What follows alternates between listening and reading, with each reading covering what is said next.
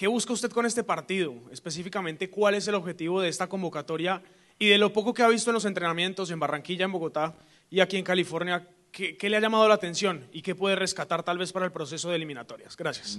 Bueno, en principio los microciclos se hacen con, con ese sentido, ¿no? de tener una, un conocimiento de jugadores del, del fútbol local que, que tengan proyección a, a, a, un futuro internacional. ¿no?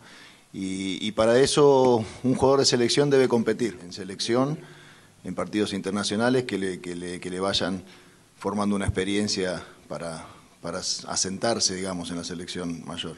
Por supuesto que hay, hay muchos contextos, hay, hay, momentos en que un jugador viene con, con, el equipo, digamos, que de fecha FIFA, digamos, donde se, puede adaptar mejor o puede, puede verse así, pero a lo mejor tiene menos posibilidad de sumar minutos. Eh, por lo tanto, a mí me parece que siempre competir es bueno y espero que lo, lo aprovechen en, en crecimiento. ¿no?